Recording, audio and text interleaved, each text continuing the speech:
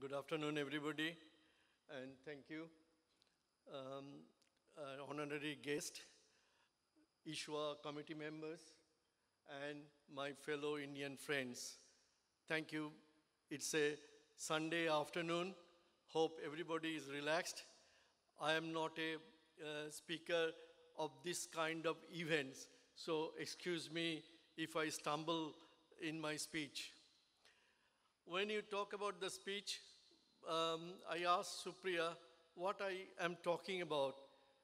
He said, uh, You can talk about how you started your business, your life when you came to Australia. Then I remembered I'm not giving a lecture because uh, I read somewhere a college lecture, lecturer is someone who takes in someone's sleeps right? Take away someone's sleeps. So I'm not going to do that. I will talk about initially about our family, the life as a migrant when we migrated in Australia in 1985. Uh, I had two very young kids, my wife Anuradha. My kids were six months old and the other was three years old. I was battling to find a job in Australia. I didn't have any problem in doing jobs in India and overseas, but when I came as a migrant, I was really struggling. I waited for um, about six months, and finally I got a breakthrough um, in uh, BHP. So, so we started in BHP, nine, I started BHP 1985.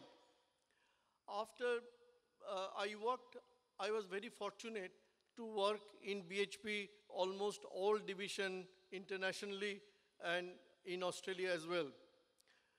Then uh, in 2000, uh, around late 90s, uh, BHP particular division, which I was heading that time, BHP Engineering, was taken over by a company called Hatch.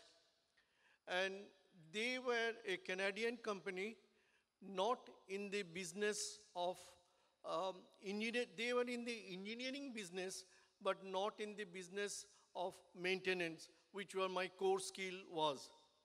I set up BHP's uh, maintenance engineering group, which became globally accepted, but uh, as a part of sales of BHP engineering to Hatch, um, few key peoples were basically transferred over. So I transferred over. Then I saw the opportunity in the growth in Western Australia, particularly in the oil and gas industry, as well as in the um, mining industry sectors. Um, because if you have to start a business, you have to see through the invisible. What is coming? What is my future? Right? So that's what uh, I saw the, and you have to have confidence in yourself. There was people, including my friends and my uh, family, thought that I'm crazy. I'm giving away such a lucrative position. If I don't do anything, the payout I get from BHP, uh, my conditions of Hatch was the BHP conditions, I don't have to work anymore. But still, I gave it up at the age of 55 and started a company called Nihar Associates. Sorry, I can't see. It is founded in the 2003 and it is uh, the largest asset management maintenance reliability engineering company in Australia I know of and we have 80 80 uh, people working for us. Mostly all of them are permanent employees.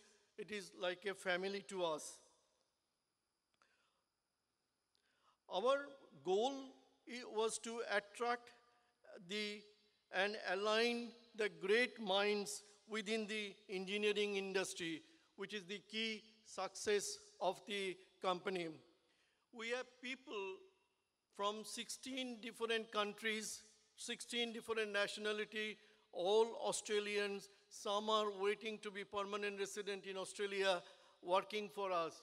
So to me, the uh, what we are after to combine the great minds with deep technical knowledge, we have created a smart and breakthrough concept to practical ideas and deployed as part of our service offering. Our people, as Einstein said, I am not very talented, but I am curiously passionate. So our people are very curiously passionate. That makes distinguish between our company and the success of the business. Business cannot success without people, without technology, without distinguishing your service from others, right? I'll talk about a bit uh, this thing in this, sorry, can you go back to the previous slide, please?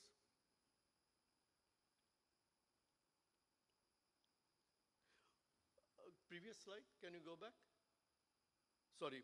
Um, our people, we strongly believe in diversity and inclusion in workplace, which includes equal opportunity, not by race, not by culture, not by language they speak. We have people speaking South American. We have employees from Pakistan, Bangladesh, of course, India, Nigeria, Australia, uh, um, any, almost any continent you can call off is in our company. The other thing, we wanted to create a company coming from the corporate culture. I do not want to um, make the same mistakes um, that corporate culture do and get down in the bureaucracy. I read, if you want to, I know, why do you, I ask questions like this, why do you sterilize the needle for a lethal injections? It does not make sense, right? So I uh, st uh, stamped out the bureaucracy and make the company um, the management to a minimum. Management is, comes as a cost and time neutral basis. In our company, everybody works, including myself. That distinguishes us from other companies that um, we are, and managers are the technical people. They are not the hardcore managers in the traditional terms. I was talking about the various programs we got, we proudly say that we have a program called WIN, Women's in uh, Nihar.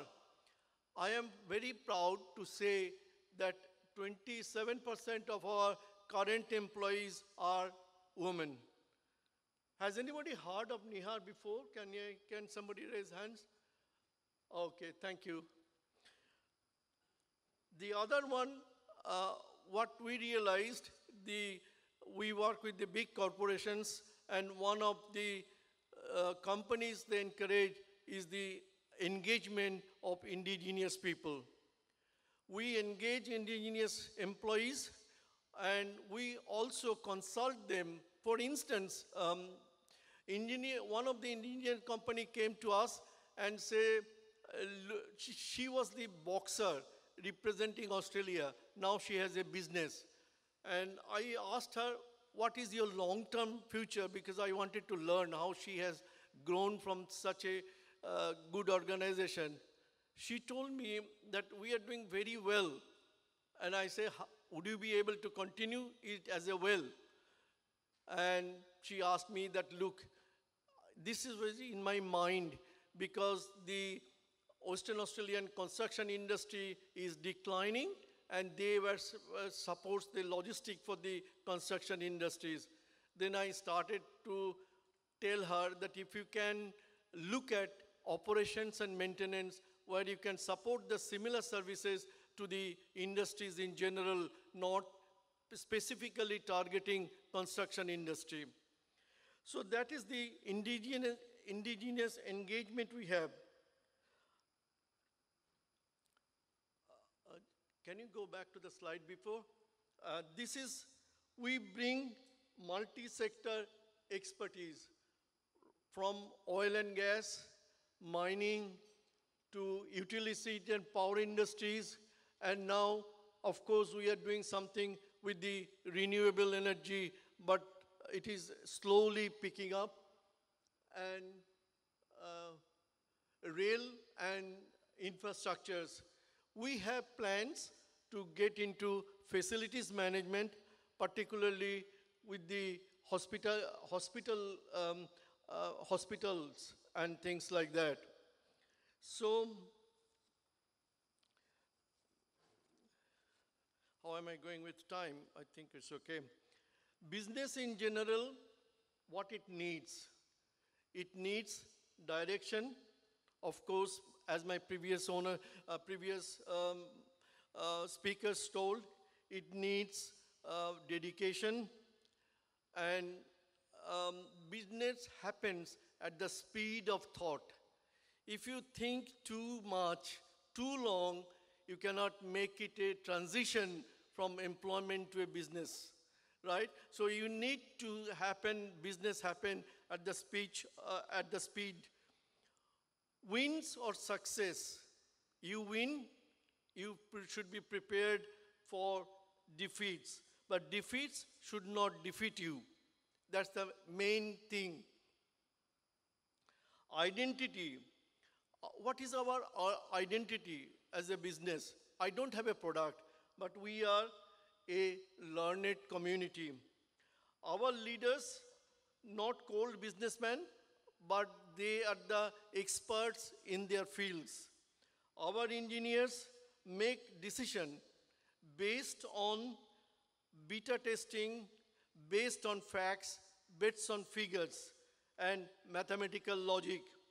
We make mistakes, but mistakes are based on um, some data, facts, and um, some assumptions. That's okay, that is tolerable. Everybody make mistakes. Decision makers should be, to me, to distinguish if I don't know, say for instance, hospitality industry. If I go to hospitality industry, I don't know whether I will succeed or not because the domain knowledge of hospital industry is not with me, right? So I believe the decision makers in the industry should come from the uh, discipline, domain knowledge. Failures, we had lots of failures.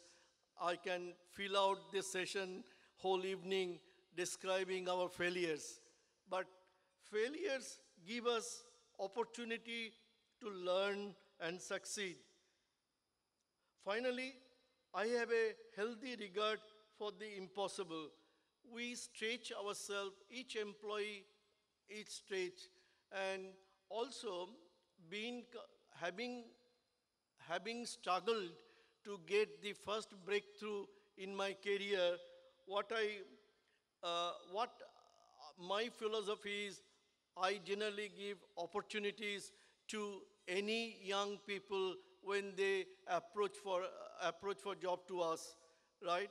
And after all, we come to a stage, they cannot do much harm, but I do not want to deprive somebody generally to, for an opportunity. Education is vital, but education is a process, not a place. For our type of industry, education is very vital. And later on in my life, I learned how to learn. If you think you learn, sometimes is not good. And I realized it is a, it is a technique of learning how to learn. I can explain that later. Information age has helped us to move to the concept to the practice very, very quickly, right? We take advantage of the, uh, this conceptual age. And I believe India is progressing very fast in the IT industry, right? We work with Indian companies here. We compete with them in Australia as well. Supriyo knows that.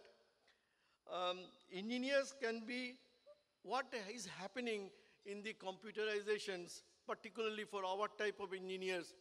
Engineers can be duplicated, right?